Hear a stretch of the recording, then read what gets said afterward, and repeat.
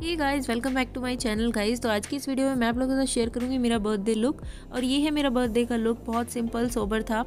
और lockdown birthday था twenty first November को मेरा बर्थडे आता है, आप लोगों को पता ही होगा. लास्ट ईयर में मैंने अपना बर्थडे लुक आप लोगों के साथ शेयर किया था.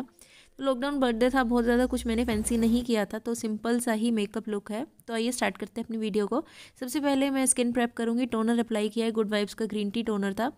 गुड वाइब्स की एवोकाडो जेल क्रीम मैंने अप्लाई की एज अ मॉइस्चराइज़र उसके बाद गुड वाइब्स का आर्गन ऑयल ऑयल लिया है मैंने विद गोल्ड लीव्स थोड़ा सा विंटर चल रहे हैं तो ड्राइनेस की थोड़ी सी कंप्लेंट रहती है, इसलिए मैंने ऑयल यूज़ किया है. साथ ही साथ अच्छे से फाउंडेशन ब्लेंड भी हो जाता है.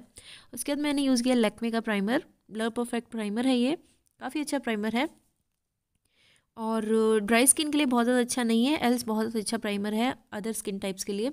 उसके बाद मैंने यहाँ यूज़ किया है लॉरियल इनफॉलिएबल फाउंडेशन मेरी शेड थी टू हंड्रेड और मैंने डॉट डॉट करके इसको अप्लाई किया था. जितना हो सके आप फाउंडेशन को यू नो हाथ से टच नहीं कीजिए। और Uh, कम से कम प्रोडक्ट आपको लेना है उसके बाद आप बिल्ड कर लीजिए अगर आपको कम लग रहा है तो। तो ये काफ़ी अच्छा you know medium to high coverage foundation है। उसके बाद मैं इसको ब्लेंड कर लूँगी with the help of a brush और उसके बाद मैं कंसीलर अप्लाई करूँगी। मेबलिन का एज रिवाइंड कंसीलर है ये। जहाँ जहाँ भी मुझे डार्क सर्कल्स हैं थोड़ा सा स्पॉट्स हैं वहाँ मैं इसको अप्लाई कर लूँगी। कंसीलर को और उसके बाद मैं कंसीलर को भी उसी ब्रश की हेल्प से यू नो ब्लेंड कर लूँगी।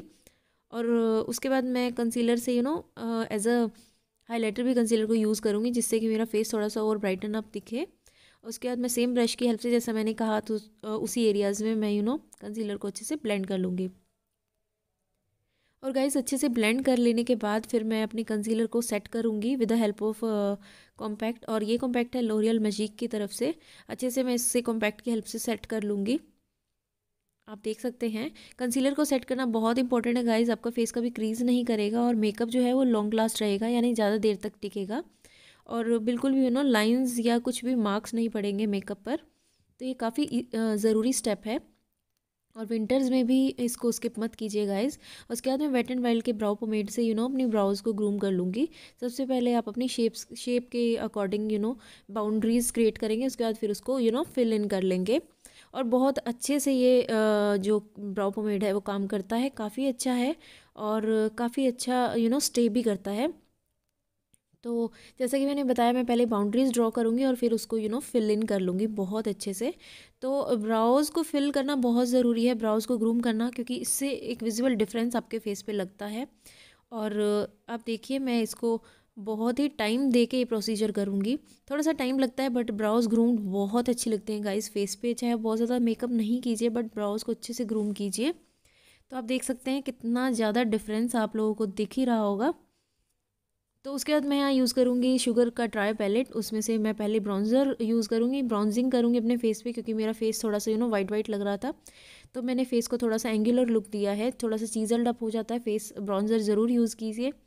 उसके बाद मैं यू नो फेस पे पहले चीक्स पे ब्राउजिंग करूँगी। उसके बाद मैं एक ब्राउजिंग पे मेरी गाइस अलग से वीडियो आप जाके चेक कर लीजिएगा कि ब्राउजिंग कैसे करते हैं और कहाँ कहाँ करते हैं। तो उसमें मैंने पूरा डिटेल में बताया है आप लोगों को।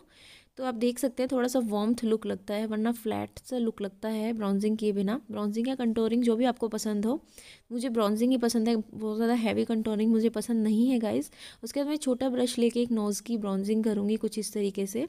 वैसे मेरी नोज़ पे ज़रूरत इतनी नहीं है बट स्टिल मैं थोड़ा बहुत कर लेती हूँ। जॉ लाइन पर मुझे थोड़ा ज़रूरत है तो मैं जॉ लाइन पे जॉ लाइन पर अच्छे से कर लेती हूँ।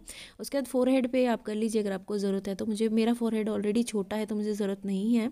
उसके बाद मैं ब्लश अप्लाई करूँगी with help of a blush brush थोड़ा सा ज़्यादा ब्लश अप्लाई करूँगी, मुझे अच्छा लगता है पर्सनली और ये ब्लश गाइज़ काफ़ी पिगमेंटेड है इस पैलेट का तो आप थोड़ा ध्यान से यूज़ यूज़ कीजिएगा अगर आप ये पैलेट यूज़ कर सक, कर रहे हैं तो। रेस्ट आप कोई भी मेकअप प्रोडक्ट यूज़ कर सकते हैं, ऐसा कुछ नहीं है जो मैंने प्रोडक्ट यूज़ किया, वही आपको यूज़ करने हैं। उसके बाद मैं हाईलाइटर यूज़ कर रही हूँ with help of a fan brush और आप देख सकते हैं ये काफ़ी अच्छा यू नो पैलेट है मल्टीपर्पज़ पैलेट है ये। और जल्दी मैं इस पर भी एक अलग से वीडियो लेके आने वाली हूँ कि इसको कैसे यूज़ करना है और इसके पैलेट के बारे में इसका रिव्यू क्या पॉजिटिव क्या नेगेटिव है इस पैलेट के। उसके बाद पूरे फेस पे हाइलाइटर लगाने के बाद आइज़ में मैं कुछ ज़्यादा नहीं करूँगी, सिर्फ़ मस्कारा ही लगाऊँगी, क्योंकि बहुत ज़्यादा हाई हैवी लुक मुझे नहीं चाहिए था जस्ट मैंने मस्कारा लगाया है। अपर आई लैशेज़ पे ज़्यादा लगाऊँगी लोअर आई लैशेज़ पे कम मस्कारा अप्लाई करूँगी, कुछ इस तरीके से। एंड उसके बाद जस्ट मेरा मेकअप कंप्लीट हो गया है, सिर्फ़ लिपस्टिक लगाऊँगी। ये लॉरियल की लिपस्टिक है pure rouge Freida Pinto star collection में से। बहुत ही ब्यूटीफुल रेड कलर है, मेरा one of the favourite red colour है ये गाइस और बालों का जस्ट सिंपल ही रखूँगी मैं. और मैंने चूज़ की थी रेड ड्रेस और अगर आपको इसकी डिटेल चाहिए तो आप मुझे मैसेज कर सकते हैं. और गाइस ये मेरा फाइनल फिनिश लुक आपको कैसा लगा? अगर थोड़ा सा भी अच्छा लगा तो प्लीज़ मेरी वीडियो को लाइक कर दीजिएगा और सब्सक्राइब कर दीजिएगा मेरे चैनल को. और भी amazing makeup tutorials hair style videos के लिए मेकअप ट्रिक्स के लिए और यू नो स्किन केयर के लिए डी आई वीडियोज़ के लिए. तो गाइज़ मिलती हूँ मैं आपसे अपनी नेक्स्ट वीडियो में. Till then please like share and subscribe to my channel bye bye guys please like share and subscribe